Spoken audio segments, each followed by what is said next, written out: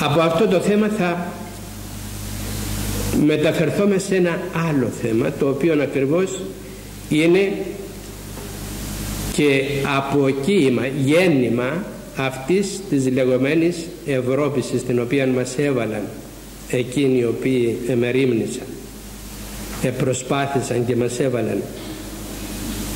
Ενόμισαν ότι όταν μπούμε στην Ευρώπη θα τρώμε με χρυσά κουτάλια δεν εννοιάστησαν αν θα χαθούμε ή αν θα υπάρξουμε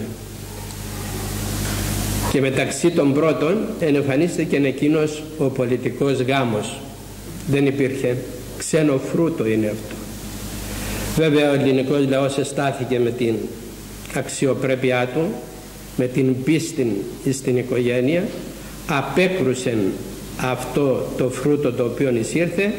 Δεν το εδέχθη αλλά μερικοί μερικός κόσμος παρεπλανήθη και συζούν παρανόμως και όταν τον ρωτήσεις είσαι παντρεμένος απαντά ναι έκανες θρησκευτικό γάμο στην εκκλησία; Όχι ναι ε τότε τούτο το οποίο έκανες είναι γαϊδουρόγαμος. Δεν είναι του Θεού ο γάμος αυτός εάν συνερθεί τρέχει στην εκκλησία για να έβρει τον λυτρωμό του. Αν δεν συνερθεί συνεχίζει τον βίον του. Μέσα στην παρανομία τα τέκνα τα οποία γεννώνται είναι νόθα και όταν θα κλείσει τα μάτια του να παρουσιαστεί στο Θεό θα είναι ένας εκτός του νόμου του Θεού